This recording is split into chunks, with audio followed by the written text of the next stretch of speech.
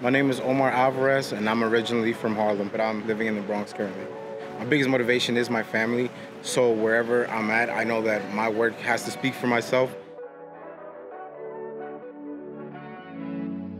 So New York Common Pantry is a community-based food pantry where we're able to distribute nutritiously based foods to our communities. Due to the pandemic that we're currently living through, the increase uh, for demand of food really did rise. We're starting to see upwards of 300 plus people every pantry distribution day.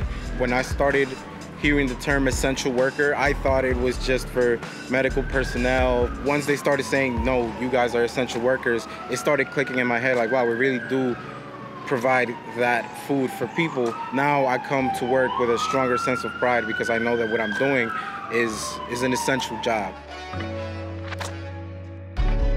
New Yorkers are able to, in the toughest of times, band together and be able to overcome whatever comes our way.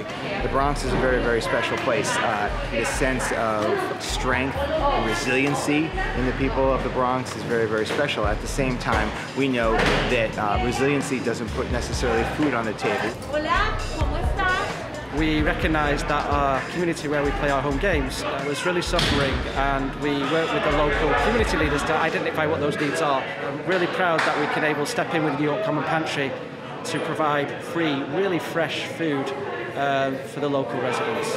For lack of a better term, it is awesome to know that we have the backing of a, of a big organization as the New York City Football Club. They're helping us out to be able to give back to larger amounts of our community. It's a, it's a great feeling to know that yeah. we'll just keep stacking in the empty spaces.